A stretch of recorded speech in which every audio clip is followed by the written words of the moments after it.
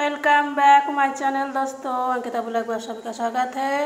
आज हम फूल गोभी बनाने वाले हैं। देखिए फूल गोभी का अच्छा से छोटे छोटे पीस करके काट के धो लिए हैं।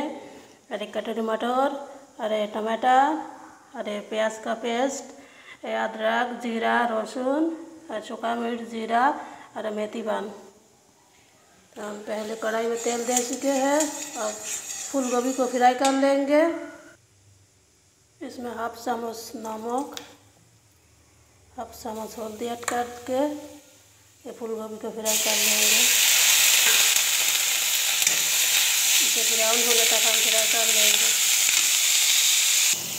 इसे हम ब्राउन होने तक अच्छा से फ्राई करेंगे फूल गोभी को। फूल गोभी लगभग हो ही चुका है, उसमें हमें मटर को भी ऐड करके दो मिनट इसके साथ फ्राई कर लेंगे। मटर में तो ज़्यादा आँच नहीं लगे।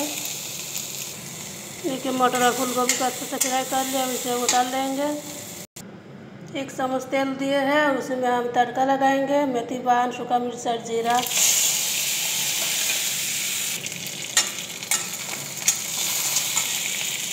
इसमें प्याज के पेस्ट को ऐड कर देंगे।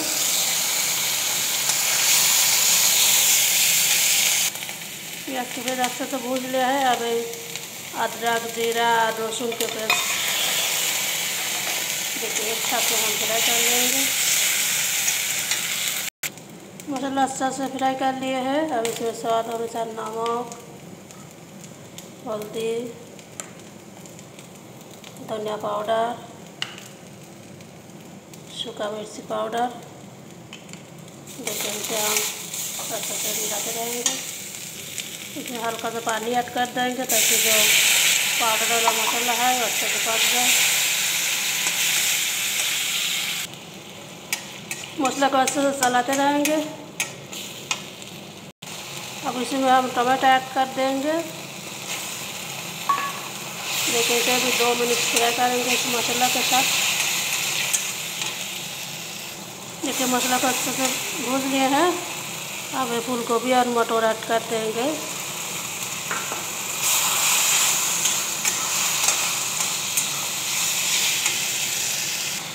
और इसको एकदम धीमी आँच में रख के पकाते रहेंगे धीरे धीरे। इसे बार बार चलाते रहेंगे ताकि जल ना जाए। देखिए हमारे सब्ज़ी जो है उबल चुका है।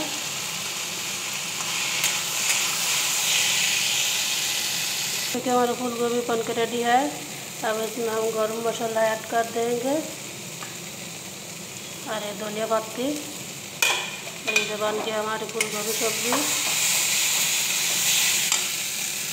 तो देखिए हमारा फूल गोभी मटर सब्ज़ी बन के रेडी है या कोई शादी समारोह में कोई पार्टी में ऐसे वाला सब्ज़ी बनता है तो अगर मेरे वीडियो अच्छा लगे तो लाइक कमेंट शेयर ज़रूर करना दोस्तों शुक्रिया दोस्तों मेरे वीडियो को देखने के लिए